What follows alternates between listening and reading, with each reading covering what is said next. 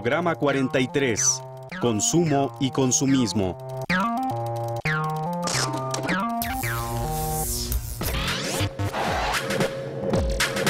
Reflexionar en torno a las prácticas de consumo de los adolescentes. El consumismo es una adicción que aparentemente afecta a una pequeña cantidad de personas. Sin embargo, cada vez es más común que se presente. Por lo regular, las cosas o bienes que se obtienen de manera inconsciente son innecesarias y se adquieren por un impulso que las personas no pueden evitar. Emociones y sentimientos encuentran escapatoria en la obtención de artículos que dan satisfacción, pero que son innecesarios, es decir, enfocamos nuestro enfado hacia la compra y posesión del objeto. Cuando este insignificante propósito se convierte en costumbre, en necesidad irresistible, nace el problema.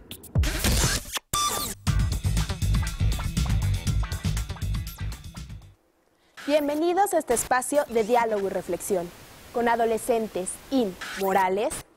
El día de hoy nos acompañan la maestra Guadalupe Lubiano, coordinadora académica de Enciclomedia ILSE, y la maestra Adriana Labardini Insunza, emprendedora social Ashoka y fundadora de Al Consumidor AC. ¿Qué productos de los que ves en los anuncios publicitarios consumes con frecuencia? Esta pregunta es para nuestros jóvenes invitados. Yo creo que los productos que más consumo son los refrescos, porque, bueno, yo creo que aunque no lo, no lo necesite así tanto, no es una necesidad así primaria, yo creo que desde que nacemos nos educan con, la, con eso de, ay, este, tal refresco es bueno por esto, ¿no? Y aparte de que la publicidad ya nos invade en todo, es, este, te convence de tal forma que los compres nada más, este, porque sí, sin necesitarlos. Bueno, yo en lo particular lo que más consumo es la ropa ya que se me hace eh, atractiva, bonita, me gusta estar a la moda, me gusta verme bien, vestirme bien. Mm, pues las frituras, antojitos, chatarra. Gracias. Esta pregunta es para nuestros especialistas. ¿Cómo podemos distinguir entre una necesidad real de una creada por la publicidad? Gran parte de este consumismo es inducido por la publicidad. ¿no? Y la publicidad no solamente nos hace llegar o nos da a conocer necesidades, sino las crea, ¿no? Son necesidades artificiales. Hay que tener presente que el consumo es un medio para, ¿no? ¿Y, cuál es ese para? Si se dan cuenta, en los medios vamos a encontrar palabras como diversión, alegría, entretenimiento, eh, satisfacción pero pocas veces escuchamos un concepto que es el bienestar. Y ese sería el propósito del consumo, el estar bien. ¿Y qué significa estar bien? Bueno, pues por una parte, satisfacer nuestras necesidades básicas, que como ustedes lo saben, son alimentación, salud y educación.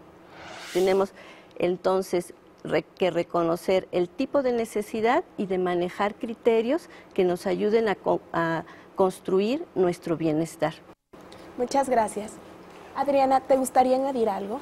La publicidad moderna, que ha avanzado mucho en sus métodos de, análisis de la psicología, eh, más que crear necesidades, creo yo, eh, se enfoca a crear deseos.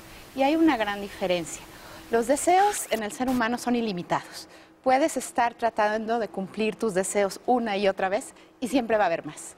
Y si hoy aparecen mil productos, mañana va a haber otros mil y así tengamos un ingreso elevado y una capacidad de compra ilimitada, nunca vas a, ganar esta carrera de eh, hacer realidad deseos.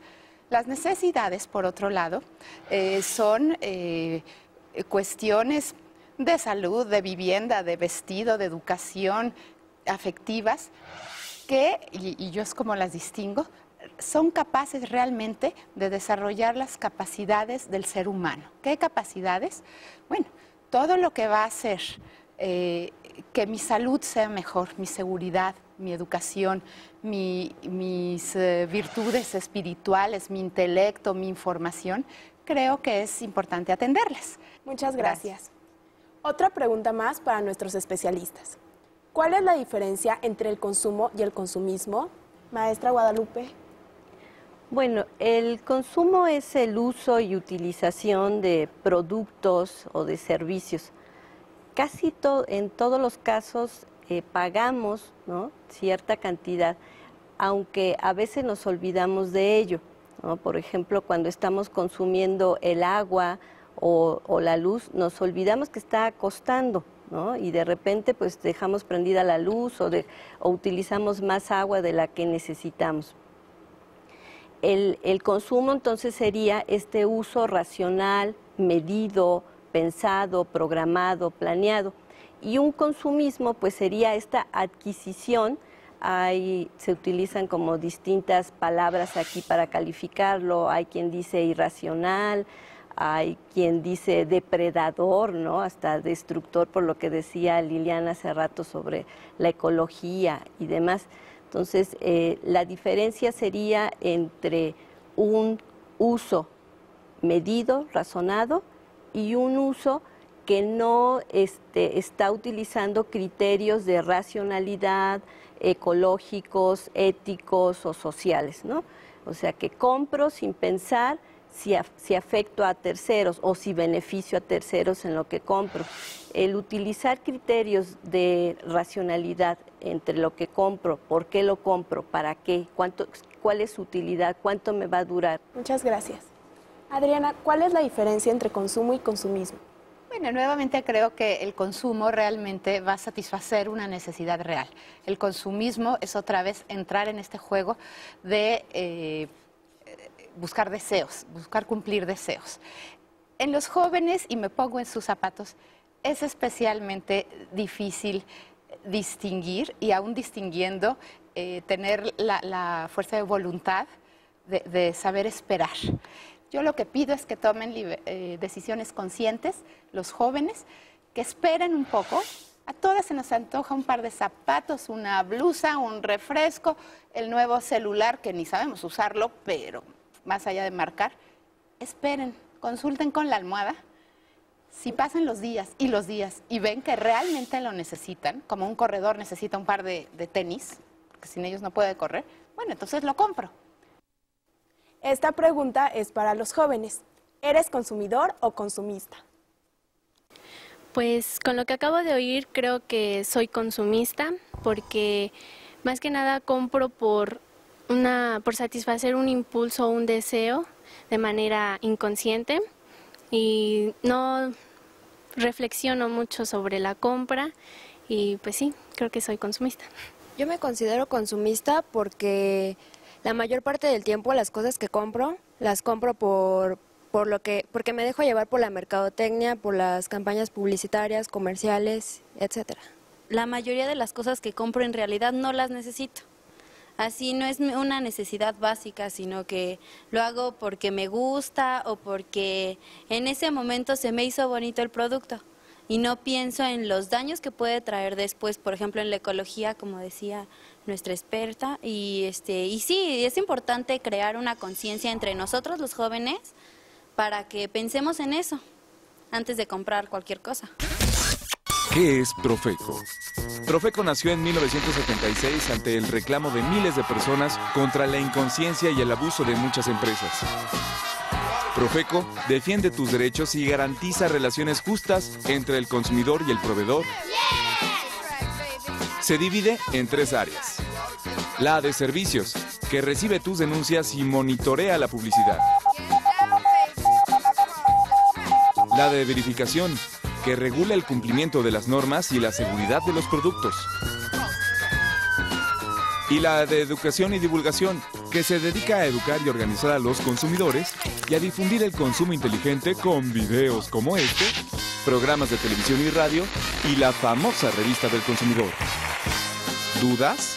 Llama al teléfono del consumidor al 01800 468 8722 o al 556 88722 o visita nuestra página web profeco.gov.mx.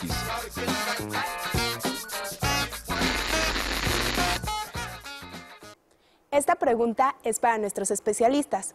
¿Cómo podemos consumir de manera responsable? Veo eh, cómo fue producido, si es posible, qué garantías, qué precio, bajo qué condiciones se elaboró. eh, cómo puedo reducir el impacto ambiental, ya sea no desechando el, empaque, sino reciclándolo. Y eh, si no tiene si no contiene elementos tóxicos verdaderamente nocivos, si hay opciones equivalentes, eh, si es un producto orgánico o no, y, el tema económico de precios, desde luego, es importante. ¿Qué tanto va a afectar mi bolsillo? La otra pregunta que me suelo hacer siempre es, bueno, si no compro A, B y C, ¿qué podría comprar con eso? Si yo al cabo de un año ahorrara todo el dinero que me pude haber gastado en caprichos e impulsos, qué bien mucho más importante podría adquirir. Y se sorprenderían de ver los montos enormes que podrían ahorrar. Llevemos un guante de, cachar, como el del béisbol, pero con la otra mano demos algo positivo a la sociedad. Muchas gracias. Maestra Lubiano, ¿usted qué opina? Bueno, para complementar, les doy un dato. Hay estudios en los que se ha demostrado que de lo que compramos en seis meses, al final de estos seis meses, únicamente estamos utilizando el 1%. Otro dato es, somos el primer lugar en obesidad infantil. Somos el segundo lugar a nivel mundial en consumidores de refresco. Entonces creo que estos son datos que hay que tener muy presentes porque es un problema muy importante y que este, tenemos que resolver.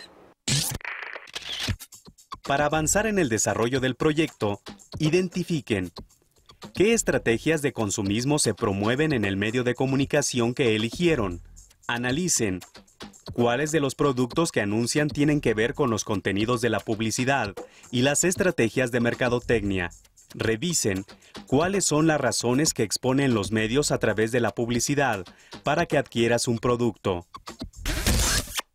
Ahora que las personas tienen mayor poder adquisitivo, no solo se consume para satisfacer necesidades básicas, sino que la publicidad se enfoca en la creación de necesidades como verse bien, cuidar la imagen personal, estar a la moda, realizar un menor esfuerzo y vivir cómodamente.